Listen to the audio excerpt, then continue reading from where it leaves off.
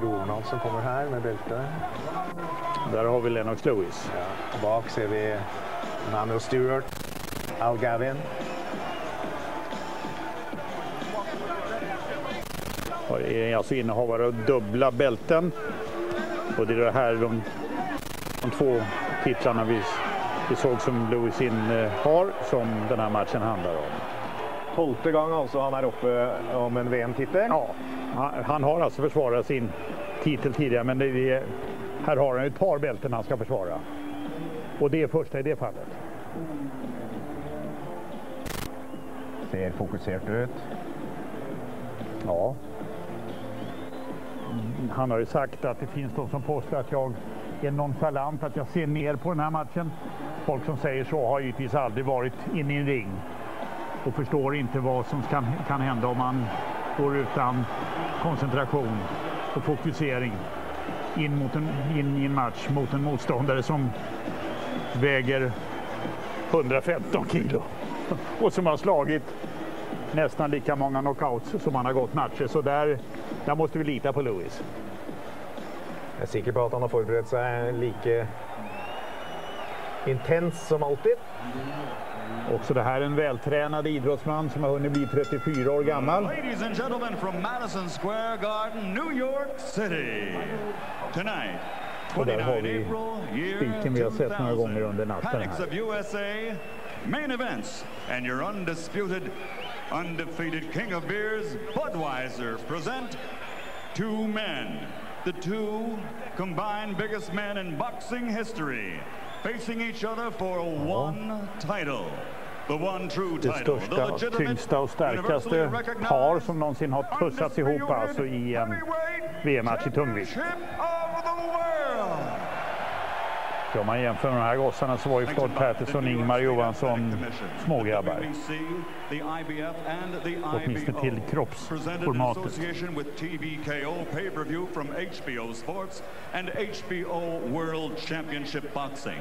At ringside, the three judges assigned to score this 12-round Presenteras poängdomaren. Och där har vi en domare från Thailand. Vi har en kvinna från USA. Och så har vi en man från USA också. Mercanti mycket rutinerad. From Madison Square Garden, New York City, for the thousands in attendance and the millions watching around the world. Ladies and gentlemen, uh, let's get ready to rumble! ja, är inte det här show så säg. Introducing first, fighting out of the blue corner, wearing white trimmed with blue. He stands six feet seven inches tall and weighs 113 kilogram väger han. Och är över två meter lång alltså. Har väl kommit fram på allvar först det senaste året Ronald. Och framförallt efter den senaste matchen mot polacken Golata som vi såg tidigare. Slog Lusa Varese på poäng kampen för. Det är också merit givetvis för att det ska ju vara en svårboxad boxare som eventuellt Tyson ska ta sig an i juni.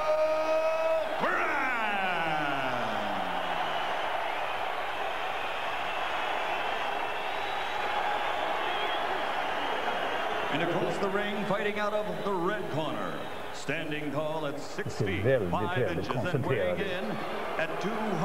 Vakna ögon men samtidigt eh, oerhört koncentrerad. Och han väger kilot mindre än utmanaren. Har boxat en match oavgjort. Det var ju den här famösa kampen mot Evander Holyfield och fått stryk av Oliver McCall. Det var ett slumpslag det som fällde honom tidigt. London, England, lång, lång presenting the universally recognized, reigning and defending undisputed Vi vill inte ännu klassa honom som en av de största mästarna, Ronald, genom åren. Ja, om, om vi inte talar om kroppsformatet med det, alltså, utan som, som mästare. Han har väl inte, han har väl inte helt fått den anerkännelsen kanske som han eh, kanske skulle haft ända. Vi får se vad han gör här ikväll bland annat. Ja.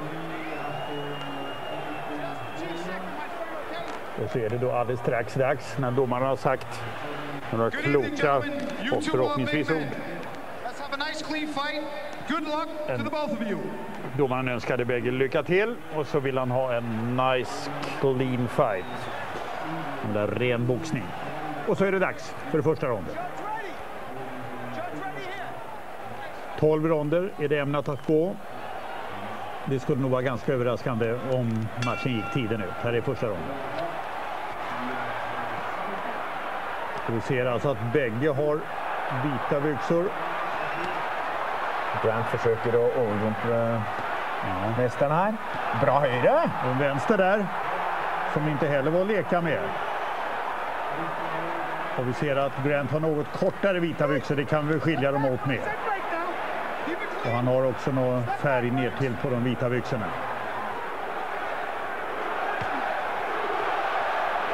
Dålig balans. Och det är en eh, mycket överraskande start av Grant som sätter allt på ett kort från början tycks det. Ja, fin vänster där också.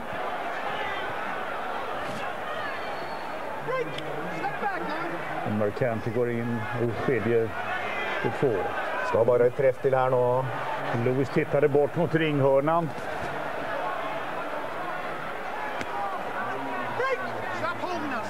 och har det här sedvanliga lite nonchalanta rörelseschemat och, och uppsynen.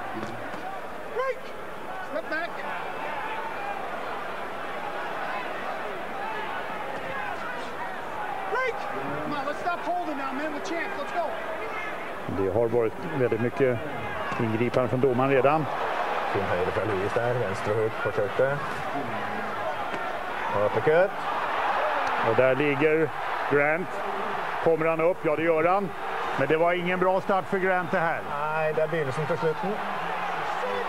Där Lewis för första gången gick till angrepp och bara slog ner sin motståndare. Ja, han är inte klar. Du ser det. Han är rystet ända. Nu kan Reynolds eh, göra det igen alltså, som han gjorde med Gorlota. Han håller och slår. Och, och Grant ramlar, är borta. Och så ramlar, bryter domaren, eller vad gör han? Nej, det kan man inte göra ännu va? Nej. Men han tittar på en Grant som inte är riktigt med längre. Han släpper ut Grant igen. Här traff han i höger igen. Han bara håller på vet inte var han är. Store mannen är på väg till eh, canvasen igen. Kan han överleva denna första rundan? Ja, det är frågan.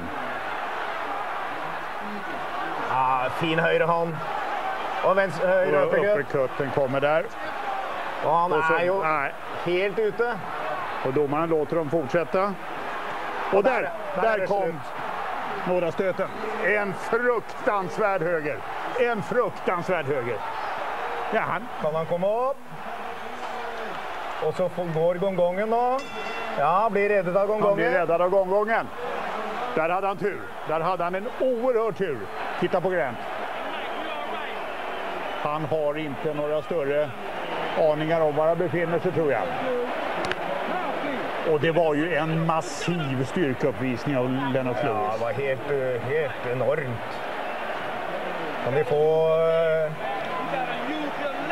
han hodet tillbaka? Nu är uh, inspektören inne och tittar från, från sidan här. Uh, doktorn och snackar med honom. Spör om han är i orden. Ja, det hade han tur. Eller kanske otur. Det kanske hade varit lika bra att det hade varit över för honom. Så ser vi fina högra uppercutter och en eh, höger bak örat. Och så håller och slår här. Eh. Och han är helt ute.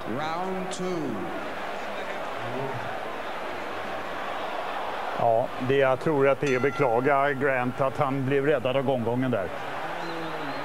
Om det inte inträffar något oerhört sensationellt här så kommer han strax att ligga igen.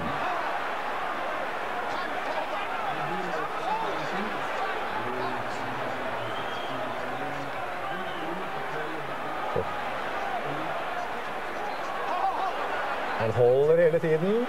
Snur seg og holder. Slår uppercut, uh, Lennox Lewis. Får inte sitta och ge råd här Ronald, du måste vara objektiv. Och där slår han i alla fall en vänster Ja, forsøker her nå. och slår sig ur knipan.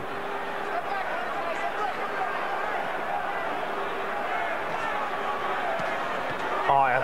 Høyre igjen.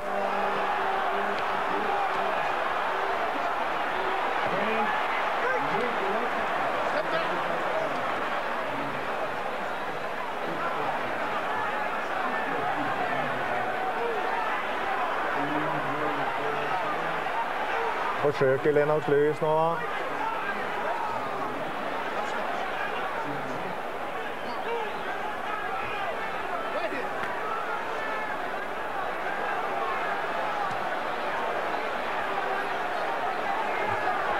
Forsøker Lennox Lewis nå å få ram på han da, men han lar han gå litt nå, syns jeg. Och så kommer väl det här som vi ser just från Lewis att han verkar mellanåt en aning ointresserad. Och det kanske är Grants räddning det. Bra Här, venstre. Fina vänsterstötar där.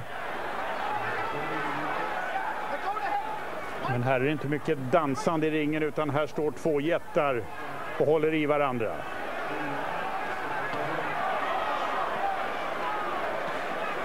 Fin uppercut. Får se, han får den på innsiden, ja.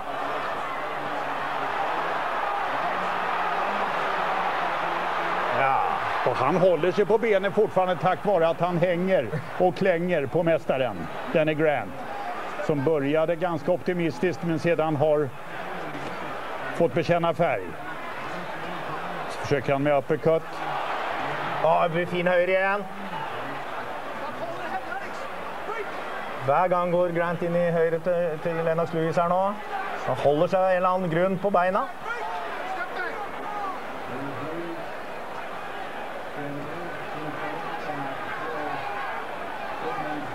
Ja, Där er kom uppercutten. Är det över där? Ja. Det sa vi förut också. Nei, han kan ikke klare det. Domaren räknar. Och nu är... Ja, han gör ett tappert försök att ta... Nej, slutt nå. där är det slut. Och det var ju tur det. I andra ronden alltså. är Lennox Lewis segrare på knockout. Och Michael Grant kan söka tröst hos sin uppvaktning i hörnan. Och då kanske de, de hade rätt som sa att Grant är för tidigt framsläppt. Trots den här enorma meritlistan. Men han hade alltså inte ställts mot det motstånd som Lennox Lewis kan bjuda. Han hade inte varit med i de här sammanhangen tidigare och han var ett lätt byte för Lennox Lewis. Ja, og den eh, siste avsluttende uppercutten vil vi gjerne se i reprise. Han ser bra ut. Ja, han är under kontroll. Han är inte alltför allvarligt skadad ser det ut som och det är bara att bocka och tacka för det. Och Lewis är ju oerhört imponerande och här kommer det då. Rak vänster. Trykker ned litt, og så klipper han til. Där kommer Och uppercutten. slut. Och där är det slut. Och det var ju en der. kopiös kraft i det där slaget Ronald. Vrir seg under, trykker hodet litt ned, og så whack. Du ser han akkurat som et nakkeskudd. Totalt ute. Där hade inte ens en skys...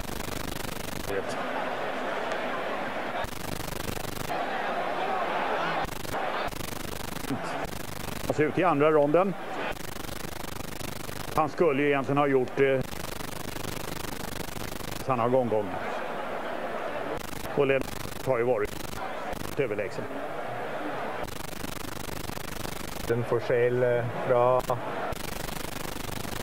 til eh, de som är eh, Sa ju siden här altså, att eh, Selvfølgelig oppmerksom på at men eh, at Grand B og, og, så, Tycker man då att Sevarese och Galata skulle ha prov, men där kunde alltså Grant efter två nedslag mot Galata komma igen. Här hade han chans att göra det. Han mötte helt enkelt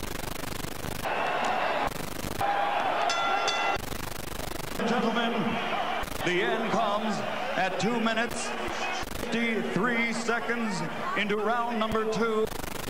I den andra ronden alltså. Knockout. Det är en totalt oberörd mästare som kan lyssna på segerjublet.